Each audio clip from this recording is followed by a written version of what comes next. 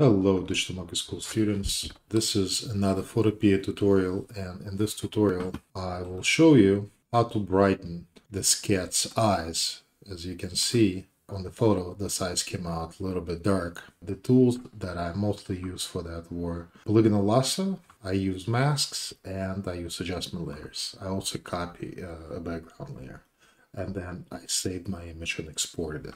Let's go to my original to duplicate the layer, I'm going to take the background and drag it to a new layer, like so. I'm going to turn off the background, pan by holding down middle mouse button, and I'm going to zoom by holding Alt and turning my middle mouse button so I can see the eyes a little bit better.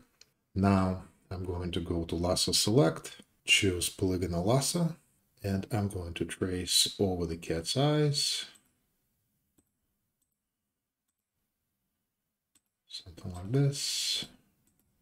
Enter to close the selection. Now move on to the other eye. Here, what you need to do in order not to deselect the first eye, before you close it, hold down shift and that will add one selection to the other. With that done, what I'll do, I'm going to press this button right here, which will add a mask to the layer. And now you can see that the eye has been masked out. I also want to apply this mask to my adjustment layer. So I'm going to hold control and then left click on the mask. And what that does, it loads a selection back. So now if I go and I apply an adjustment layer, and in this case I will do brightness and contrast, and I will turn up the brightness of the eyes. I don't know, something like that you can see that it's only affecting the masked area. When I turn off the mask, it actually affects the entire photo. This is what my mask looks like at the moment. Now I'm going to hold control and left click on that mask and I'm going to apply another adjustment layer, which is hue and saturation. And I'm going to increase the saturation just by a little bit, 50. And really that's it. I can put two adjustment layers and the colored layer by selecting it in the folder. And now if I click on that eye, I can see the results of my efforts.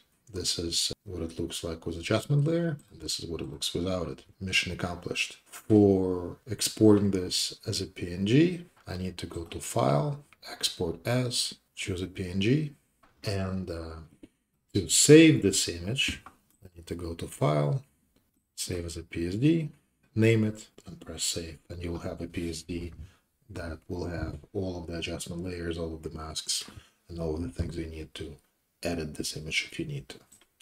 This was quick tutorial on how to use polygonal lasso, how to use masks, how to use adjustment layers, and how to copy layers. I hope you learned something new. We are Digital Monkey School, and I talk to you in my next tutorial.